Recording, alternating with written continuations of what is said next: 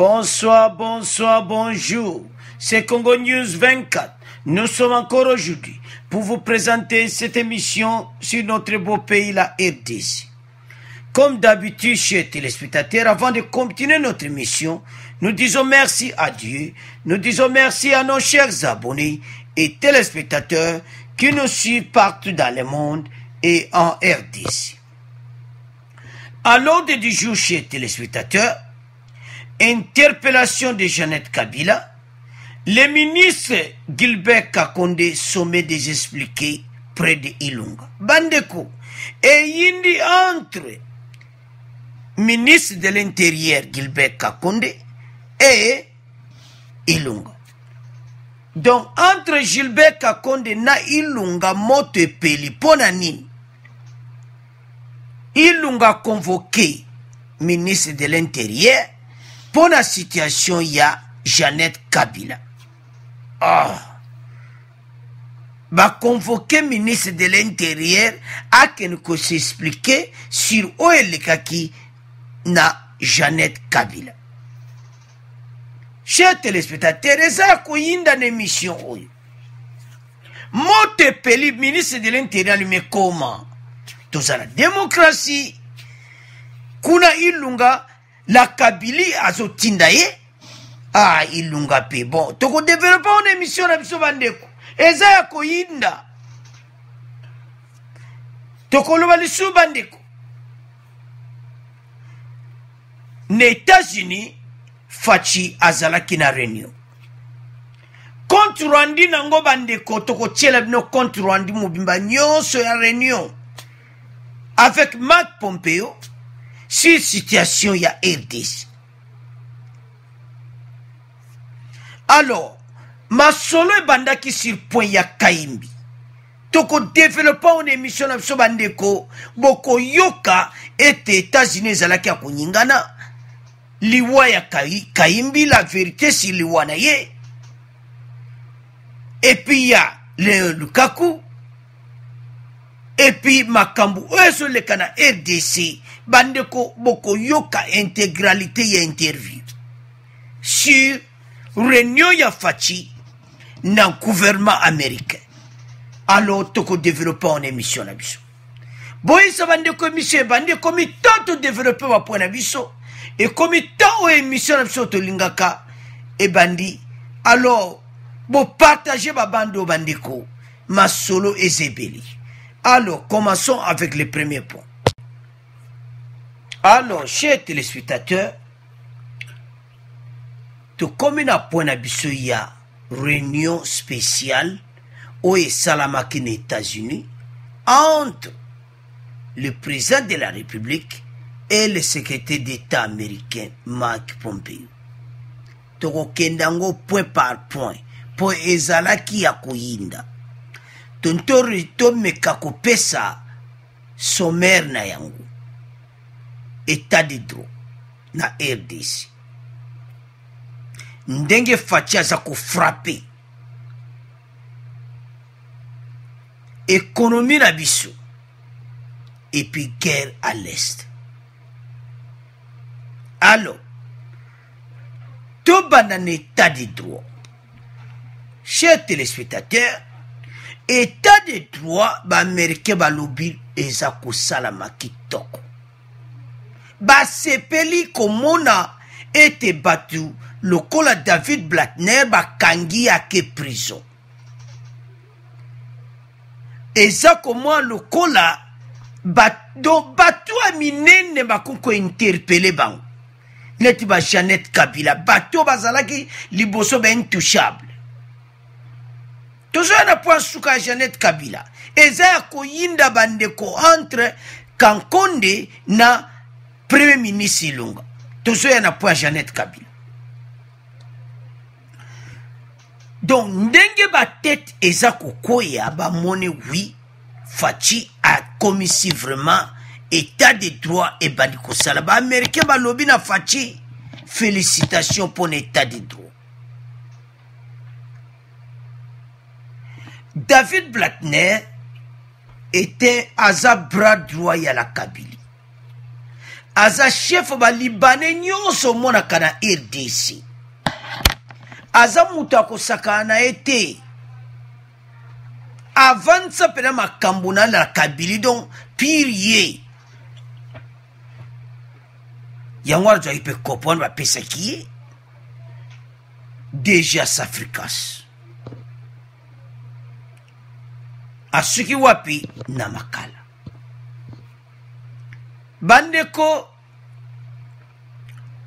na makambo oyo faci mpena asali travaux mm, kitoko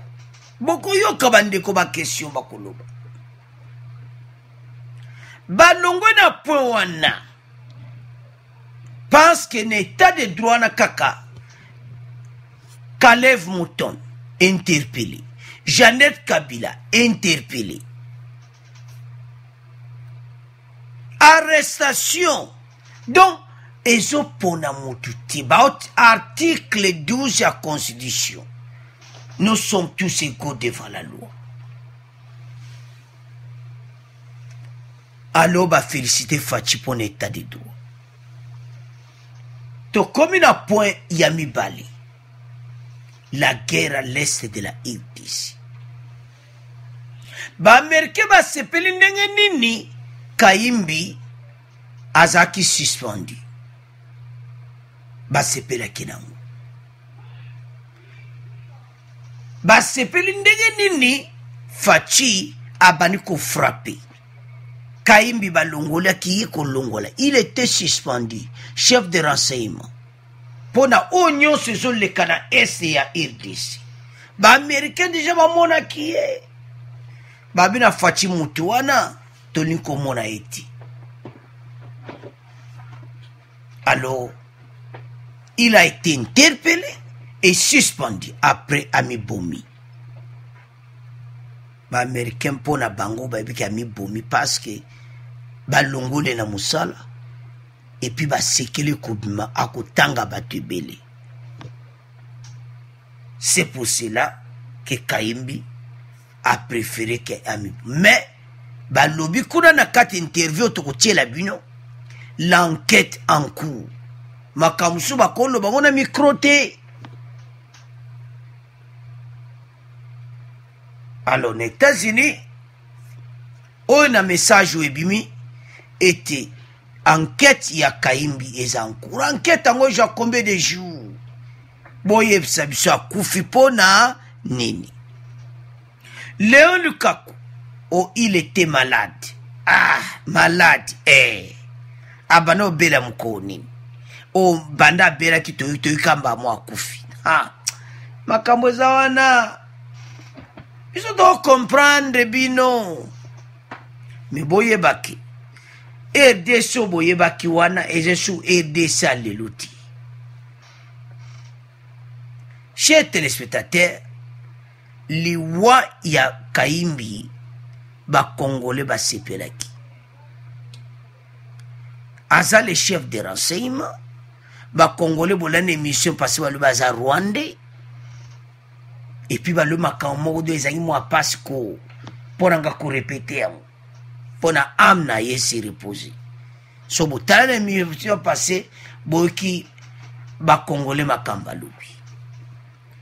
alors eloko nini toni toloba na bakaa bato oyo oyo ezalaki traité na washington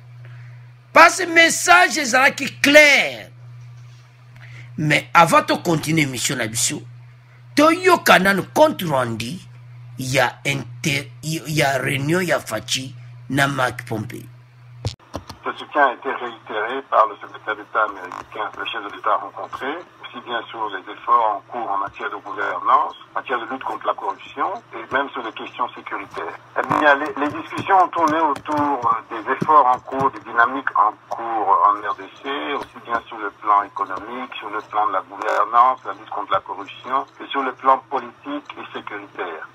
Ce qu'il faut retenir, c'est que le gouvernement américain soutient sans réserve les efforts en cours, aussi bien sur le plan économique que sur le plan politique et sécuritaire. C'était un voyage euh, sur l'invitation, comme vous le savez, de AIPAC, hein, le grand lobby euh, qui renforce les relations entre les deux pays, Israël et États-Unis. Monsieur le président Félix Tshisekedi a été invité pour euh, prononcer une allocution, ce qu'il a fait et qui a été très bien accueilli par la communauté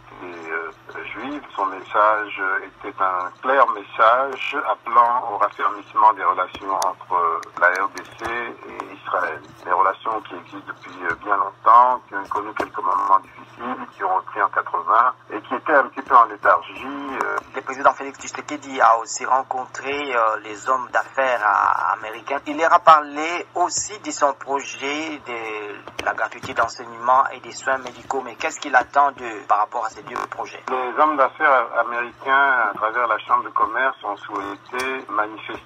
leur volonté de venir davantage investir en République démocratique du Congo. Vous savez qu'il n'y a pas très longtemps, je crois que la semaine dernière, il y a General Electric qui est venu avec un engagement d'un milliard de dollars sur des projets liés à l'électricité et à la santé. Ce signal-là n'est qu'un premier signal. On a eu beaucoup de manifestations d'intérêt des entreprises américaines qui veulent venir. donc, il est venu répondre à l'invitation de la Chambre de commerce qui a confectionné un guide pour l'investisseur américain en particulier, mais investisseur tout court, qui s'intéresserait à venir à en République démocratique du Congo. C'est un guide qui présente les opportunités d'investissement, qui présente la RDC et la vision du chef de l'État et les différents secteurs avec les opportunités qui sont liées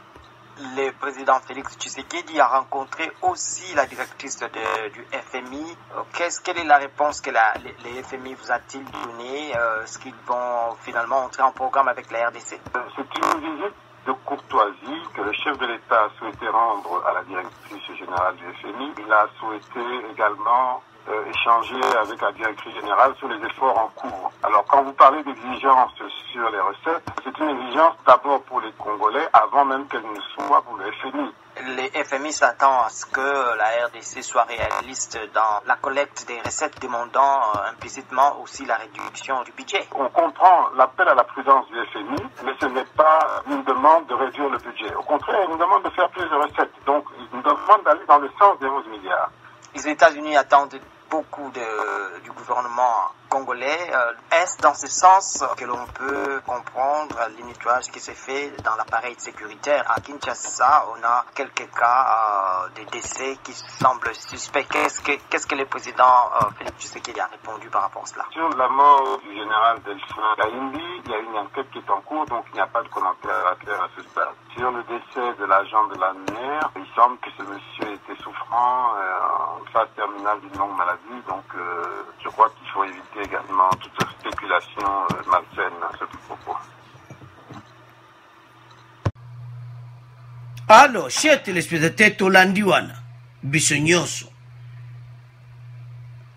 donc batuni makambo ya moria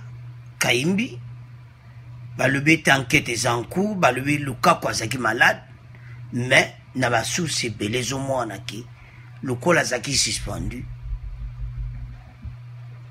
donc amibomaki mais makambo mosusu bakoloba na mikro te epuis balobi lisusu bandeko chez téléspectateur situation politique na rdc oyo ezoleka nte fcc cash donc c'est ça donc marche na bango na kabila baaméricain ezosenga kala te mpena do bakaboli bango deja catholique deja si atombolaki mongongo marche eza kitoko te rien ne va batuni faci sur la gratuité de l'enseignement économique déjà boyebi ke entreprise américaine asiki ye kuna électricité mpo na mboka na biso électricité ezala epuis makambo ya est mpo na sécurité na est ya edc ya rdc bandeko eza makambo oyo ti lelo badossier ezotraita mais pourquoi on attend bagénéraux ba nyonso balongwe kayembi asi alongwe etikali bo bamosusu wana balanda nous allons voir comment la situation va changer à rdc mpasi baaméricain bakomi na karte na maboko la kabile akomi deja affaibli do bato na ye baza so ata na force moko te on avait dit que les têtes vont commencer à tomber un à un les proches de kabila nde bolandi wana bandeko faci coopération entre états-unis bandeko ezokende kitoko na makambo ebele ba même ba visa pamba ekomi ba visa états-unis mpo bakongole ekomi priorité ese liboso ezalaki boye mpo bomona comment arrive à faci échange barelation ebele entre rdc na bapays mosusu to faci mpendako mpo na coopération extérieure aza makasi makambo ya chambre de commerce baaméricain bazoya koinvestir na rdc état de droit oyo toki toloba o ebele bazalaki interpele e arrete bamoni ke état de droit eza en marche bafélicité faci donc état de droit mpende ekomi en marche ata oza nani tala bamutonde baamerike basepeli nango makasi soki na lutte contre la corruption bakangisi bato wana ba david blackner aza chef balibane nde tolobaki wana baza bala bras droit la kabili to mboka echange bakoarete moto nyonso ozala oza moto ya kabila donc bako arrete yo pour dire que kabila aza lisu ata na pouvoir moko te na rdc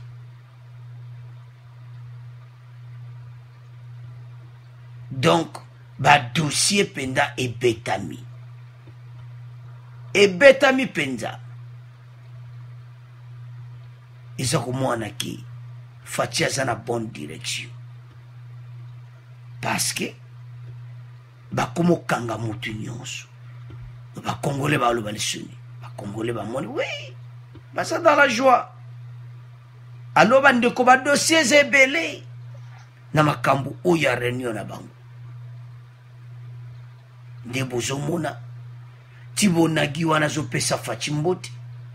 ambassadeur ya baamerika azobeta maboko dont les deux pays baza, baza na relation kitoko totala bandeko ebele ntina bareseau sociaux olio batala makambo oyo eza très important mosusu bazokritike koloba makambo moko kudo eza na mawa fati akomi likolo na bango bageneraux wana nyonso bakokite armee banyokoli biso mingi ekomi temps oyo baloba le tete ebandi kokweya bato bino bato nyonso bandimaki te bato oyo bakoki kointerpele bango e eh, bakointerpele bango ko oyo eza esulera kabila ti totika koconfondre makambo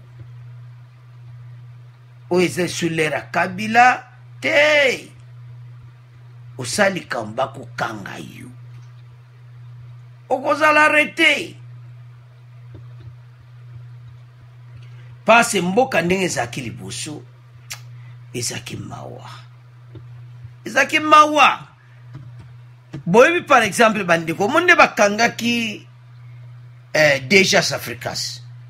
na lere la kabili akopesa mbongo batiki ye bakotika ye hmm? do apesi mpena mbongo ko batiki ye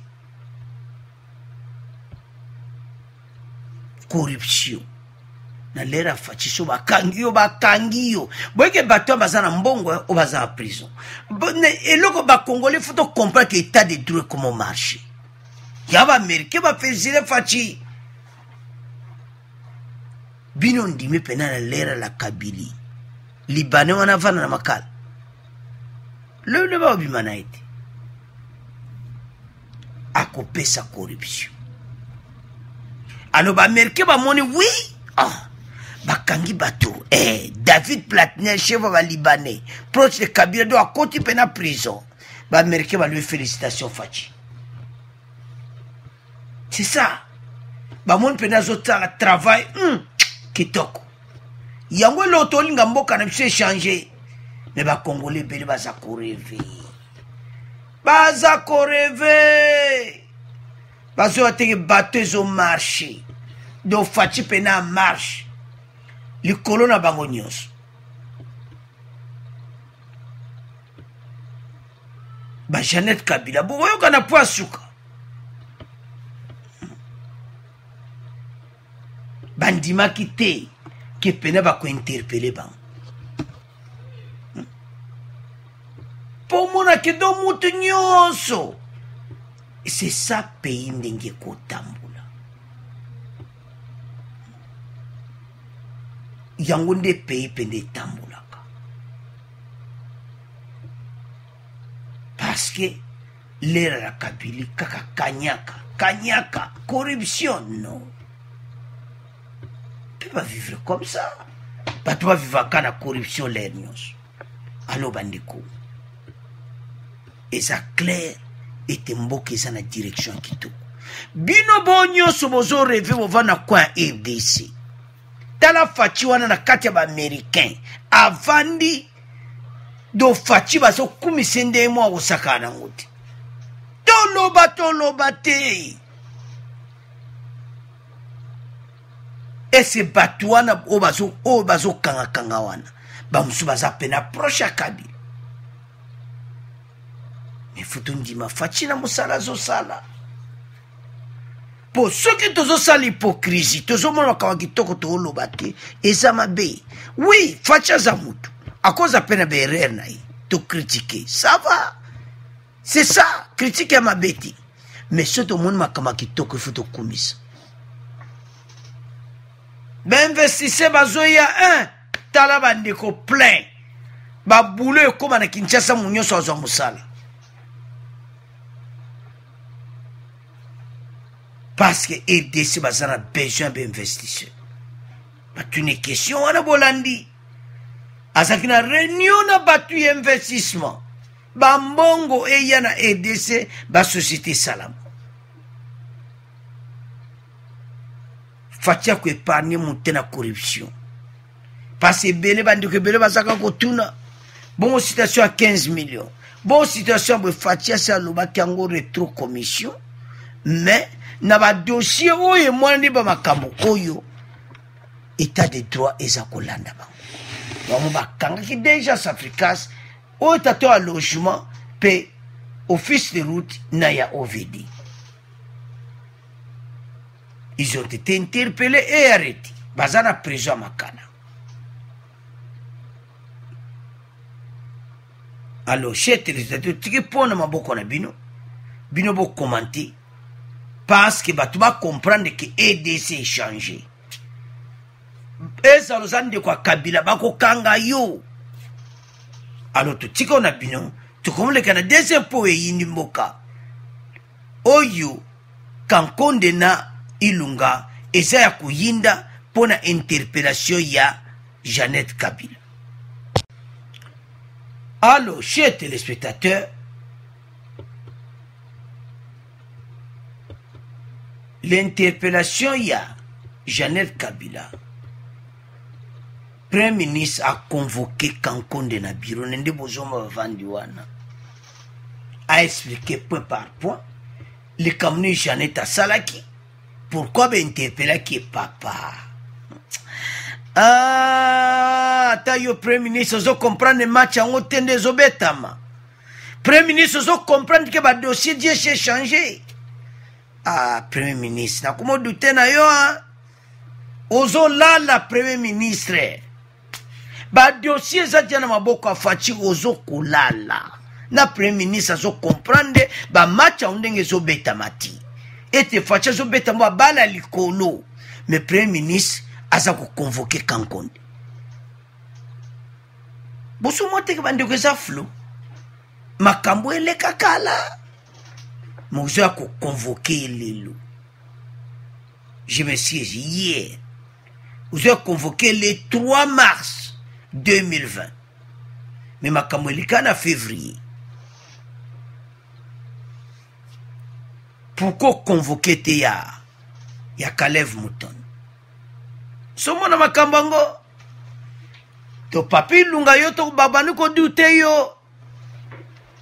hmm. banda jeannette kabila ete interpele pourquoi baye kotuna ministre de l'intérieur c'était hier mardi pourquoi pasi la kabili atindi message alobi tokova na nyembo ete baomona biloko ya biso me bosi bosili toloba nini la kabili est affaibli tala lere azo ya kotuna ye liboso azalaki boye mbeleka bakangaki ye le même jour bali bainterpele ministre de l'intérieur opapi ilunga toza na état de droit tika baje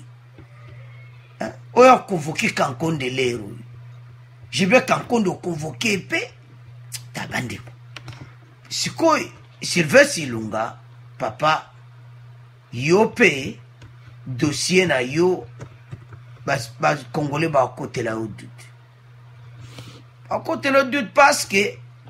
eza lokola ozokotela eza lokola ozokotela jeannette kabila donc oye kodefendre parce la kabila atindi yo eza kitoko te ilunga ifa comprendre ke na ndenge badossier ezokende bango tout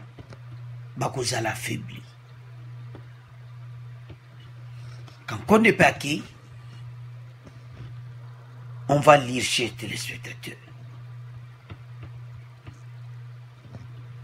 Le Premier ministre a demandé à son ministre de l'Intérêt de lui livrer des explications détaillées sur les circonstances de l'interpellation de la sœur jumelle de l'ancien président Joseph Kabila le 23 février. il a demandé des, des explications ah makambo esalama kala eh. le 23, le 23 février otunaki ye bamakambo oyo mpe ye ozokontinue makambo ya kosololaka mpo na yango au sujet de l'interprétation... le 30 janvier de la députée Jeannette Kabila, c'est jumelle de Joseph Kabila, Kankonde était en audience avec Sylvester Lunga pour des questions concernant l'interprétation de la sœur jumelle de Joseph Kabila. C'était depuis le 30 janvier, le, 29 février, donc un mois après, Zoïa. non, ça Clarté. a Clarté, chers téléspectateurs, semaine où les semaines passées, le 23 février, à Komelaki Cancun, et puis hier, akonvokaki ye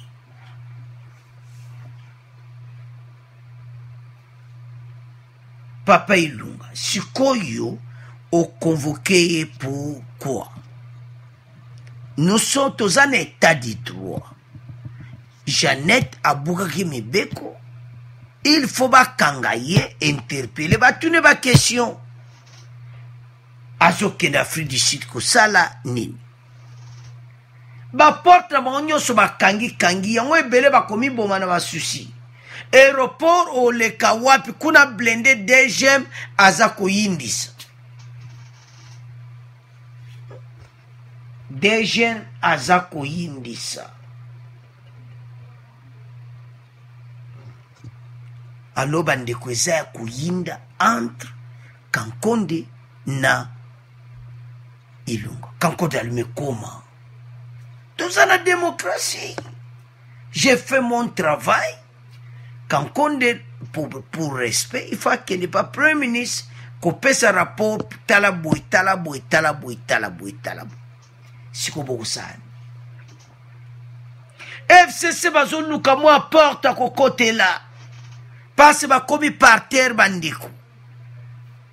fcc bakomi na mabele do faci mpenza azomarche likolo na bango ye mola kabili nde aza naza deja affaibli mpo bato oyo batindelaki ye trump atindelaki ye mutu angleterre batindelaki ye mutu union européenne batindelaki ye mutu union africaine donc kabila aza affaibli hmm. alio aza esio na likambo ya kosala te akosala bandeko makambo oyo ko na ndenge eza kokende bato wana nyonso bakokangakanga bango faci alobaki etat de droit na rdc omo te bakoti kazaka onga shadari onga boye bopesa ba long discours bokomoleka kaka mwa maloba boloba ti boza na place te comme les têtes commence à tomber wana oyo oh, bozoyoka delphin kaimbi bafoto mosusu otali na kabila bazali mpe na bagene ensemble ce sont des amis kaimbi wana kabila ce sont des amis mais basuspendre ye après suspension ya mibomi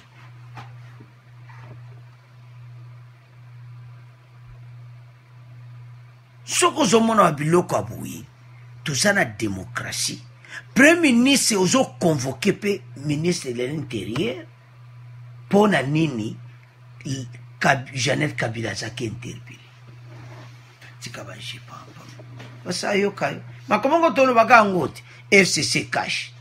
ministre de l'interieur moto a cash premier ministre moto a fcc ozomona ba contradiction ozomba desordre yango nde osamba na edc oyo katholike alobaki ete alliance wana eza alliance entre diable et ange alliance wana bacongolais baza, baza en otage alors senko basengi bakabwana le même dossier boyoki na états-unis situation économique baaméricain bazosepela biso na makambo wana te bazosepela biso na coalition wana te mpasi bazongo ke peuple ao se retrouve te bandeko états-unis oyo boyebaki banda kala bayaka na baprofit na bango toyebi na biso mais états-unis ya lelo bazoluka bacongolais babonga bandeko ah, baaméricain bazopesa mbongo bazosoutenir faci bazo faci à 100 pourcent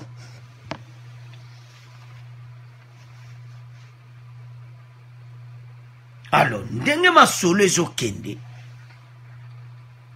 ezomona ete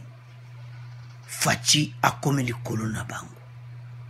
to bamakele apam apamba ekozala te legitimité mpenza ekomi kovanda basi bakebisaki bango nyonso yango bakoti na kati ya bakazaka badiskur ao ye alobi boye o eza lisusu te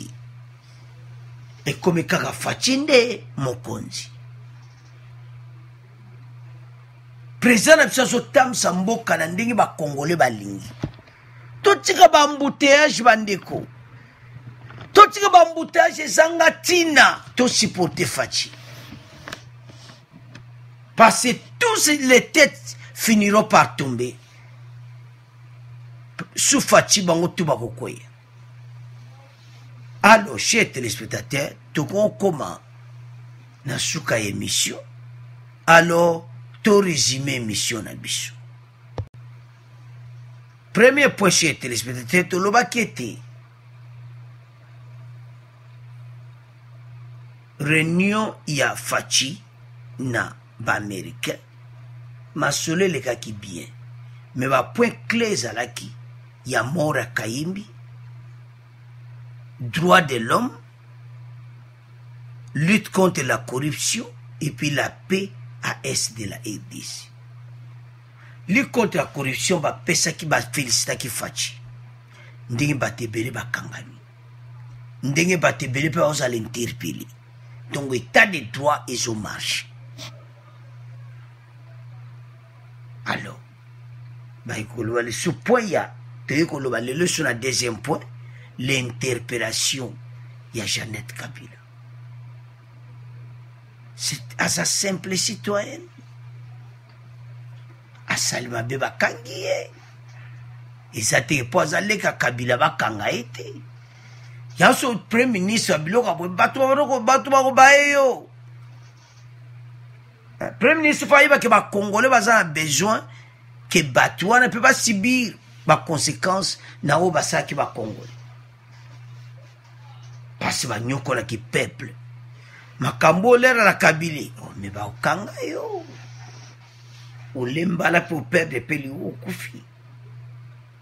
mpasi eza gouvernement makila